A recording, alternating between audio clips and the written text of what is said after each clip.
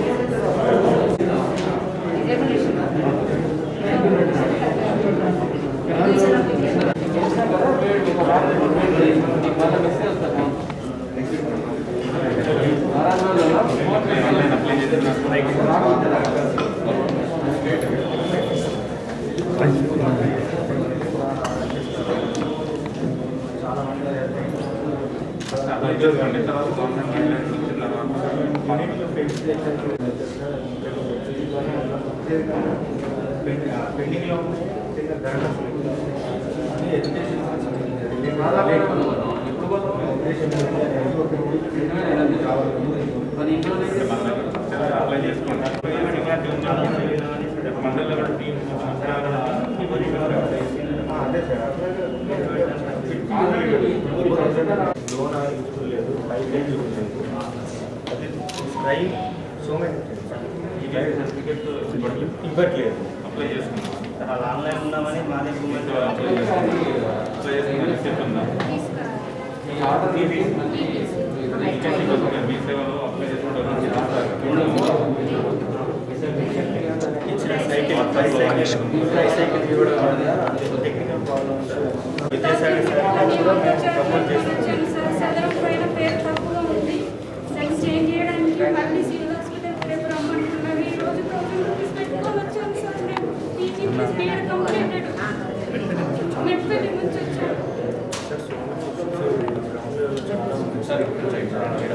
మేము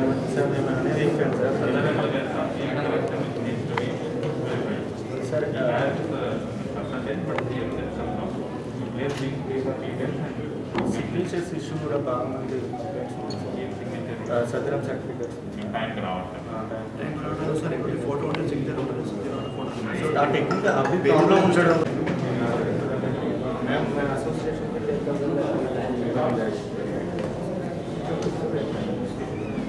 ఎవరున్నారు వెరిఫై చేస్తారా మేడం సిటీ హాస్పిటల్ సూపరింటెండెంట్ గారు సార్ మేము అందరూ లైక్ మండల్ మండల్ బేస్లో కొంచెం మీట్ రివ్యూ మీటింగ్ పెట్టుకుంటే గ్రౌండ్ లెవెల్లో ఉన్న ప్రాబ్లమ్స్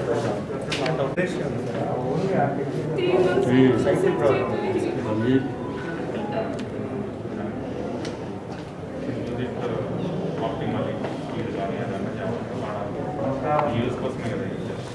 ప్రిన్ బేగం నేను మెట్పల్లి నుండి వచ్చిన ప్రజావాణి కార్యక్రమం ఉందని తొందరగా వచ్చినాను నా పరిస్థితి పీజీ కంప్లీట్ చేశాను. బీడీ ప్లస్ పీజీ కంప్లీట్ చేశాను. ఏ జాబ్ లేదు. ఓసీ క్యాండిడేట్ అని దేనికి అప్లై చేసుకోలేకపోతున్నాను.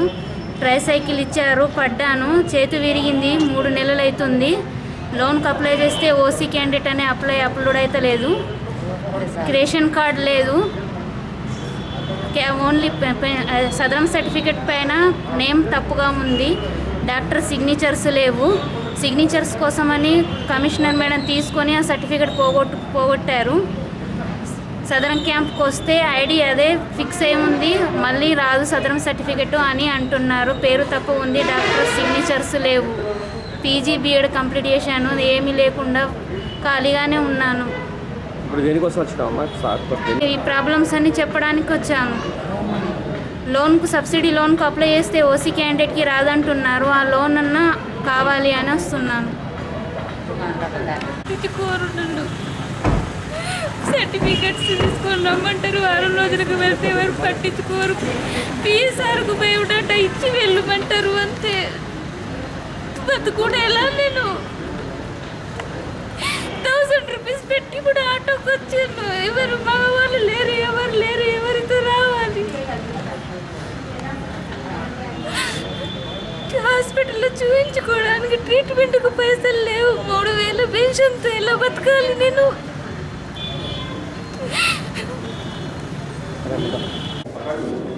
ఆన్లైన్లో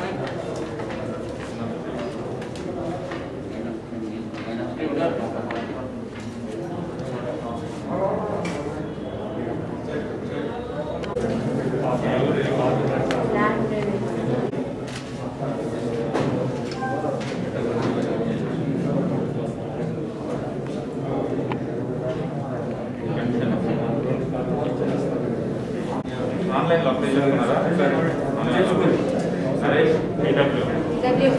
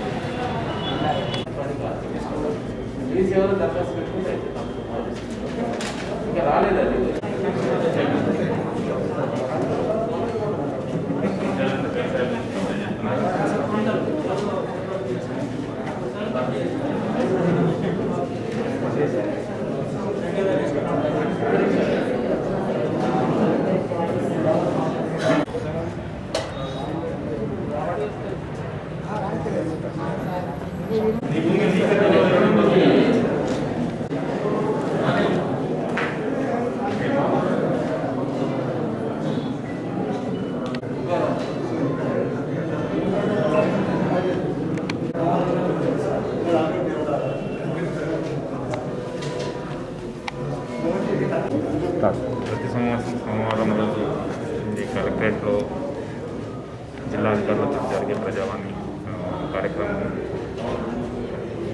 మార్చ్ తర్వాత కోవిడ్ కారణంగా పోస్ట్పోన్ చేయడం జరిగింది.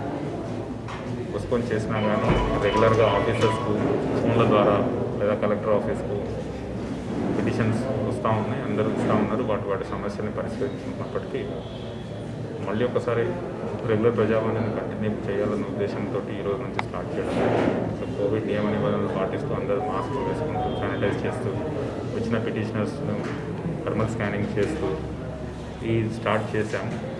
సో ఇక ముందు కూడా దీన్ని ఇలానే పరిస్థితులు ఉంటే కంటిన్యూ చేస్తాం లేదు అని అంటే ఫర్దర్గా సిచ్యువేషన్ని బట్టి మళ్ళీ ఫోన్ల ద్వారా వినతులు స్వీకరించడమా ప్రజావాణిని కంటిన్యూ చేయడమా అన్నది ఫాలో చేస్తాం అందరు ఆఫీసర్స్ కూడా వచ్చారు. పబ్లిక్ కూడా దీన్ని ఉపయోగించుకోవాలనుకుంటున్నాం